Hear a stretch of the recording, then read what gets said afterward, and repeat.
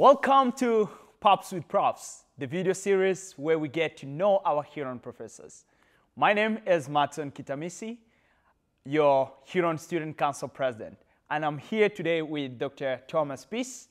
So, Dr. Thomas Peace, uh, to start things off, thank you for joining us today. Um, so, we're going to ask you a very important question. What is your favorite type of pops? Well, thanks for having me today, Matson. And my favorite type of pop is root beer. Root. Great, so fancy. Uh, well, it just happened so fast that we have uh, an ice cold beer here with us today. Excellent. Uh, Vanessa. Thank you. That's how we do things here at Huron. we only hope the best for our professors. All right. Cheers. Cheers. Thanks for having me, Matson. So, Dr. Peace, to get uh, things started, we are going to ask you some uh, speed round questions. Are you ready? I'm ready. All right, here we go. Favorite type of food? Uh, pizza. Cats or dogs? Dogs. Name one item you can live without. My phone. Favorite TV show? Oh boy. MASH. Which subject were you worst at in school? Music. Chocolate or vanilla? Chocolate. Favorite day of the week? Friday. Describe yourself in just one word. Enthusiastic. Maybe. we'll see. now let's get into some of the more uh, serious questions. First of all, tell me about yourself and where you're from and what led you here at Huron. Yeah, so I grew up in Hamilton, Ontario. I was going to go to university to do mechanical engineering uh, back in the late 90s, and I did. I actually did a, a weekend great books program for uh, high school students at another university. uh, but that changed my career trajectory, and uh, so I applied. Uh, applied out of province to uh, to attend university at Acadia University, where I went, and uh, decided to do history, which is something that I've all, I, I had developed a passion for, and uh, I went on to do a master's, a PhD, and Mm-hmm. and then I was able to get a job at. fortunate enough to get a job at Huron in 2014. And we are here so lucky to have you here at Huron. Well, thank you. Yeah. Uh, so, what do you like to do outside of your work? Um, the, the thing that I like to do the most is just just get outside. And so I ride my bike back and forth between Huron and my house, but I also like to, I like to go for runs and hikes. And, and probably my favorite thing to do in London, which is relatively new for me, uh, but I like to canoe uh, the Deshkan Ziibi or Thames River, which flows uh, just, by, uh, just by our campus. And so to get out and see, the, see our city by uh, the river is one of my favorite things. And you get to bike and tour the whole city and uh, enjoy the yeah, tour. exactly. So, how long have you been working here at Huron and what program do you teach? Yeah, so I'm the chair of the history department right now, and I've been here for eight years. Um, I came in 2014, and I primarily teach Canadian history and uh, the history of settler colonialism in North America. Uh, what's uh, your favorite aspect uh, of your program? My favorite, the, the best part about history at Huron is that we are a, a department that is engaged in the community. And so, what that means is that we uh, do a lot of work with community partners, and uh, and we also try to get our students out into the community. So, students in our classes go to local museums and archives, but also uh, we try to bring our students out into the world and to try to introduce them to how history is made in, of course, time uh, in the past, but also in, in terms of place.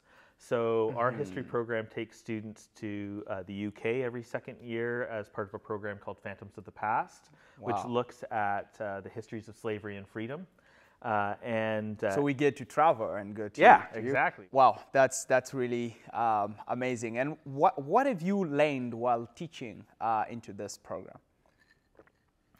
I've learned that history is relational. And so, what I mean by that is uh, when you think about, about a historian, you think of somebody who goes into archives, who reads a lot, who um, um, works by themselves, but that's really not how history is produced. History uh, exists in communities, um, and members of those communities understand their path, pasts in a very personal way. and uh, and I think as a historian, one of the really important uh, aspects of our job is that we need to meet people where where they're at with their understanding mm-hmm. of their history. And, and so that's, that's something I've really learned over my eight years at Huron because several of my colleagues in the history department um, had cultivated that kind of, that community focus uh, in the years before I arrived. And, and, and so I've learned from them, Professor Reid Maroney, uh, mm-hmm. Doug Leighton, and Professor Bell in particular. Mm-hmm. And uh, you know, while learning and uh, enjoying your career, uh, what do you like best about being a professor? I like I, I just love uh, working with students and also being uh, in place with students. So off campus, or even Huron has a great uh, um, forest behind its campus. yeah, and so so I really like taking students back there and teaching my classes in the in the woods. Wow. And the reason why I like that is is twofold. First is it gets us doing something different and it allows students to change their uh, perspective mm-hmm, on mm-hmm. learning. So it takes you out of your expectation, uh, kind of the learning environment that you're expecting, and takes you into a new one. And I think that uh, helps students learn. Mm-hmm. Uh, but it also allows us to engage in a little bit more of an organic way with each other, which I think is really important and something mm-hmm. That uh, that we can offer because we're a small, relatively small uh, university college. Exactly, and you get to uh, students also get to um, you know experience that kind of uh, um, learning, uh, being outside, enjoying, exploring the nature while you know listening to uh, the lecture and while engaging with the professor, which is actually something unique. Um, yeah, so you know, just kind of on to the same um, points. Um, tell me about one of your favorite memories while working here at Huron. oh boy, I have uh, several memories. Mm-hmm, um, mm-hmm. the most exciting memory that I have is in 2019, just before the pandemic, the summer of 2019, just before the pandemic. I took four of our students up to Manitoulin Island as part mm-hmm. of the Manitoulin Island Summer Historical Institute. We spent a week there uh, working uh, collaboratively and learning collaboratively uh, with partners from the Ojibwe Cultural Foundation and from York University and, and, and from other campuses and, and First Nations. And what I really took away from that uh, was the ability to connect my own work in this area, my own mm-hmm. research in this area, with my students' interests. And uh, it was a wonderful uh, week that we got to spend on Manitoulin Island. Mm-hmm, mm-hmm. And this actually leads us to another question. Um, who is someone here at Huron who has, uh, that has impacted your life and why? I don't know. I mean, I, am hesitant to name just one, just one person.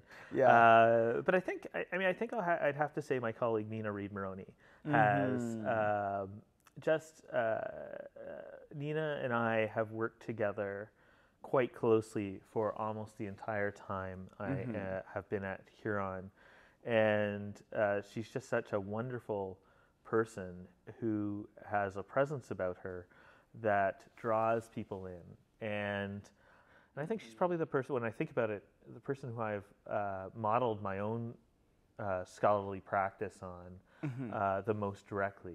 I, I, think it's probably her, but of course I don't really want to discount. We we we, we have a really great community in the history in the history yeah, program. Yeah, yeah. Uh, so I definitely uh, got to give a shout out to all my colleagues in, the, in the history in the history program. So on that note, what what's the best piece of advice that you have ever been given?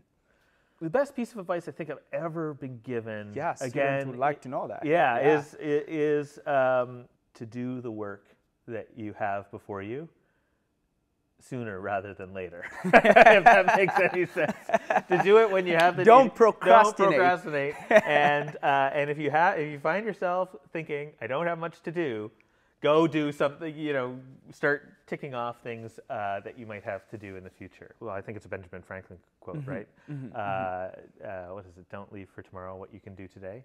Um, and uh, and I, and I've, I've really tried to live mm. by that because I think um, it's pretty easy to yeah get overwhelmed or or life happens right mm-hmm, and mm-hmm. so yeah, so yeah. I, I, can't recall anyone ever saying that to me uh, as advice but when I think about people uh, who I look up to this is the one of the traits that I see that I think is really important. Just one last question. Okay. If, um, let's say if this video goes viral and millions of people get to watch it, uh, what do you want to say to them?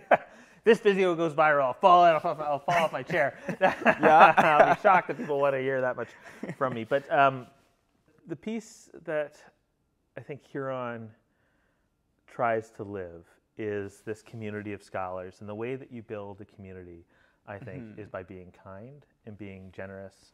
And uh, I'm gonna drink for that. Yeah, and buying, or or and um, this is one of the key life skills mm-hmm. that uh, that a university, an undergraduate university experience should be trying to foster and build is empathy for our neighbors and um, and that's if there's one if there's one thing that mm-hmm. I that uh, that you know we can end this on, I think that that would be it. If this were to go viral and everyone were to see this, I think I, I would hope that this video might inspire them to uh, be kinder and gentler with others and to um, and to and to understand that people are on different paths than than they might be.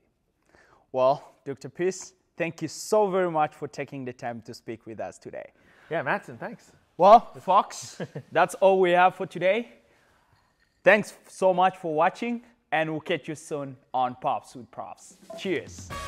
All right, cheers. Thanks, Matson.